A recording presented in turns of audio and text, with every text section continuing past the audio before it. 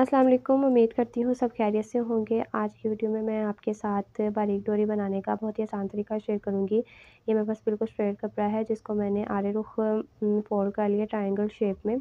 तो जितनी भी हम चौड़ाई में डोरी रखना चाहते हैं तो हम रख सकते हैं, लेकिन मैं आपके साथ बारीक डोरी बनाने का तरीका शेयर करूँगी। तो ये आधे आधे इंच के मैंने निशान लगा लिए हैं इस तरह से तिरछे कपड़े पर तो यहाँ से मैं इसको कट कर लूँगी और कट करने के बाद मैं इसको आयरन कर लूँगी, इसकी डबल फोल्ड करके। तो इसको आप हम जितना जितनी मर्ज़ी लंबी डोरी बना सकते हैं, इसका एक और हम कपड़े का आगे कट लगा के तो जॉइंट डाल के। लेकिन मुझे फ़िलहाल इतनी ही चाहिए। तो इसको मैंने आयरन कर लिया डबल फोल्ड करके।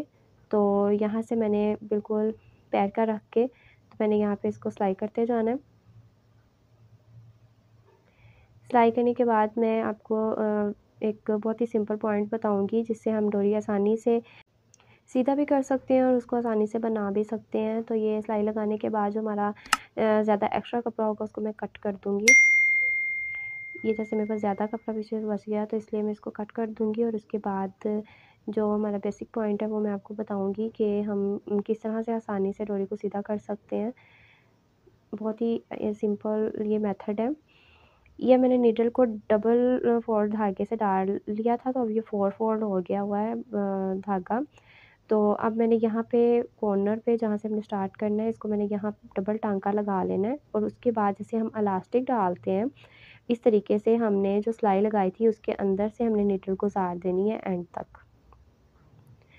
गुजारने के बाद एंड पॉइंट से बाद में मैं बताऊँगी आपको कि किस तरह से उसको हमने सीधा करना है। जब हमारा हमारी नीडल एंड पॉइंट तक चले जाएगी, उसके बाद हमने आगे से धागा खींचते जाना है और पीछे से उसको सेट करते जाना है। जैसे ये पॉइंट है, उसको हम अंदर वाली साइड पे इस तरह से करते जाएँगे और दूसरी साइड से हम खींचते जाएँगे। यहाँ से बस थोड़ा सा हमने ध्यान से खींचना है ताकि जैसे ही यहाँ से अंदर वाली साइड पे चले जाएगा तब हम तेज़ी से आगे से धागा खींच के डोरी को फ़ौरन सीधा कर सकते हैं और इसके बाद हमारी डोरी जो है वो तैयार है। अगर वीडियो अच्छी लगी हो तो लाइक और शेयर करना मत भूलिएगा। हमारी नई वीडियो अंत तक के लिए अल्लाह हाफिज़।